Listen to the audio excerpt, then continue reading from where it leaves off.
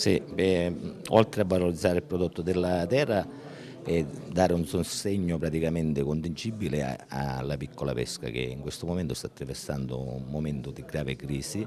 e quindi la, la costituzione della società del GAC fra eh, enti pubblici e privati e con gli operatori del settore primario e secondario della pesca è proprio questo, la finalità è questa, valorizzare il pescato, quindi valorizzare il prodotto, valorizzare il territorio, valorizzarlo anche a livello enogastronomico proprio per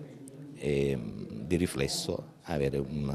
un vantaggio anche per il pescatore. Sì, i comuni sono cinque, eh, si parte da Cicastello che è il comune capofila, Acireale, Riposto, Mascali e Fiume Freddo.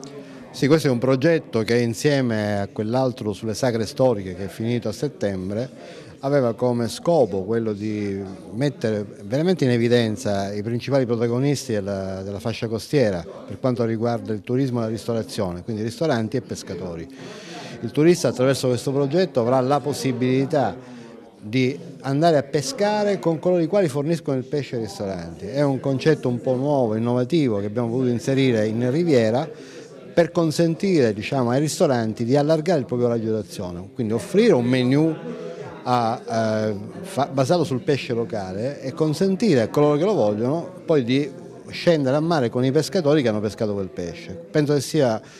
un modo molto emozionante e nuovo di approcciare il ristorante. Siamo riusciti a entrare in questo progetto che ci ha fatto valorizzare un po'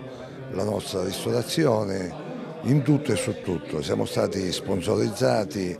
dal Mare dei Ciclopi, i nostri pescatori anche loro hanno avuto la loro parte, eh, con il loro pescato hanno affluito rispetto a prima eh, con più continuità e devo dire che onestamente abbiamo avuto un incremento sia clientelare che anche qualitativo. E effettivamente bisogna dire che l'opportunità che ci ha dato il GAC, Gruppo Azione Costiera, delle lave e siamo stati pure all'Expo a Milano a rappresentare i nostri prodotti ittici, anche quelli riguardanti l'Interland dell'Etna, in modo particolare quelli della Riviera dei Ciclopi, come il pesce azzurro, le alici, il gambaretto di Nassa, i polipetti presi